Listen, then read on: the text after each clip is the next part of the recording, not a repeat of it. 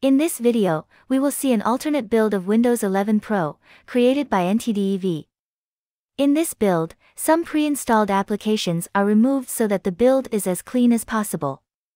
Of course, we can install them later if we require them from the Microsoft Store. This also results in a smaller installation size on our disk drive. So, let's begin. We will first download the Tiny 11 23H2 image. We will search for it on our browser. This is the link we are looking for. Here it is mentioned that this build is based on the actual 23H2 release of Windows 11. Towards the right, we get a few download options. We will download the ISO image. The image is about 3.5 gigabytes in size. Click here to download it. Let's have a look at the downloaded file. This is the image file. Now, if we have an old spare physical machine, we can create a bootable media with this image using software like Rufus. Then install this build of Windows 11 Pro on that device. Since we want to just explore this build, we will create a virtual machine using Oracle VirtualBox. VirtualBox is a free x86 and AMD 64 or Intel 64 virtualization product for enterprise as well as home use. I already have it installed on my system. Let's open it. The VM Manager window opens. Click New. Give a suitable name to our virtual machine. Select a location on the host machine where we want to place our virtual machine files.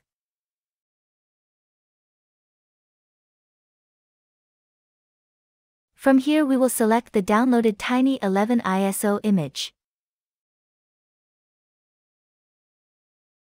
Now click Next. Here we will allocate hardware resources for the virtual machine. For RAM, we will provide 4 GB of memory. We will allocate only two processors. We can enable the checkbox to enable EFI, or not.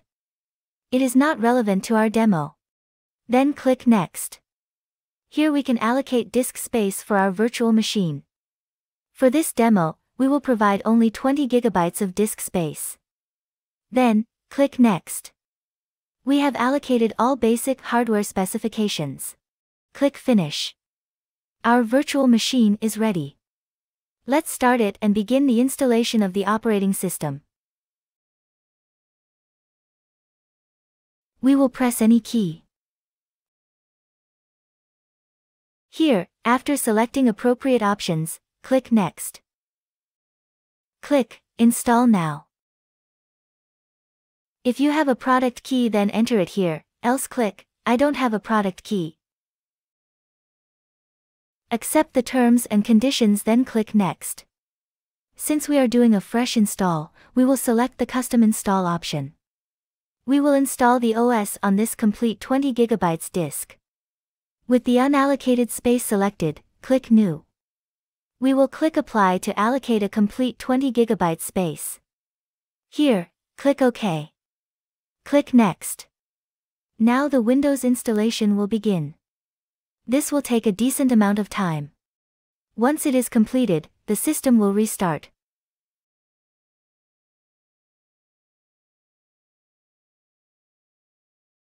Select the region, and click Yes. Select the keyboard layout, then click Yes. We will click Skip for additional keyboard layout.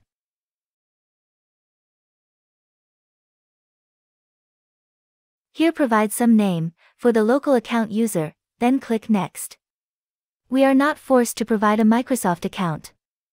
We can later add a Microsoft account if we want. We do not want to set any user password. Here we will disable all the privacy settings for our device. Then click Accept. Now it will automatically work on some updates. Since it's a virtual machine, the internet connection is obtained from the host machine. It will take quite a while to complete the updates. Once it is done, we will have our Windows 11 Pro, Tiny 11, build ready. Let's check the pinned apps. We just have Settings and File Explorer. Let's check all the apps on the system. These are the only apps installed on the system. If we want to uninstall then, just right-click, and, click Uninstall. Let us look at the device specifications.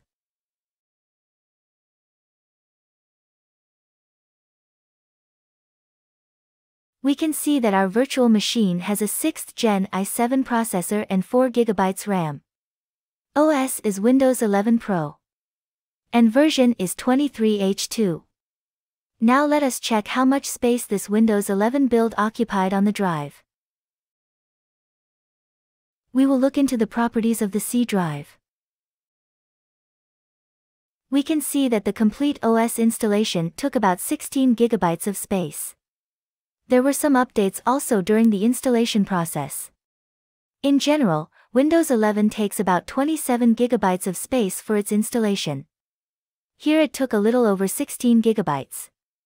We can further compress the drive to save more space. But we will not do it. We can say that the Tiny 11 build of Windows 11 does remove some pre-installed application clutter. Let's check if we have Windows security or not.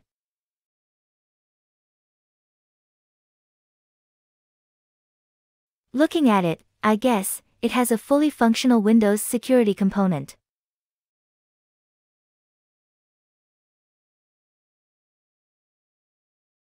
Let's check if we can do a system update or not.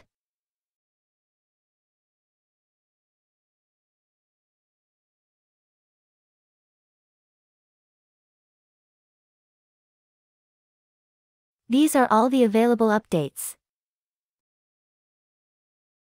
They have started downloading too. So updating the windows is also possible. Let's make this VirtualBox VM full screen.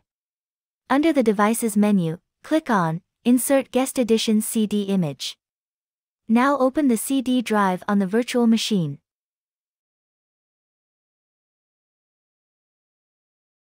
Here we will execute the VBox Windows Additions executable. This will start the additions setup. We will complete the setup.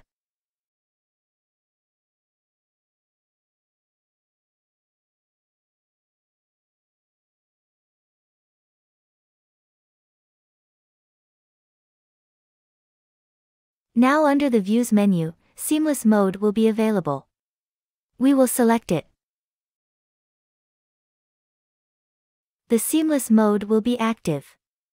Now under View, select the Full Screen mode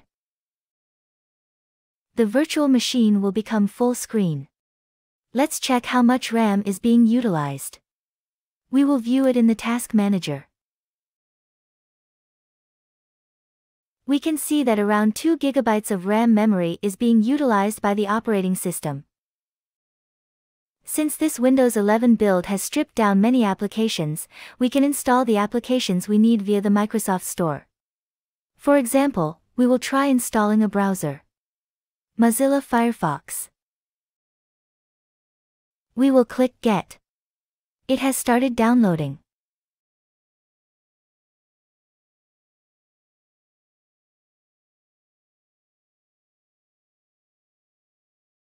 Now it will be installed.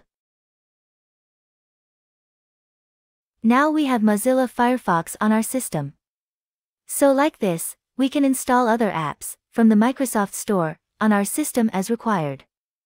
We can say that the Tiny 11 build of Windows 11 Pro does reduce some clutter of pre-included apps to provide as clean as possible OS installation.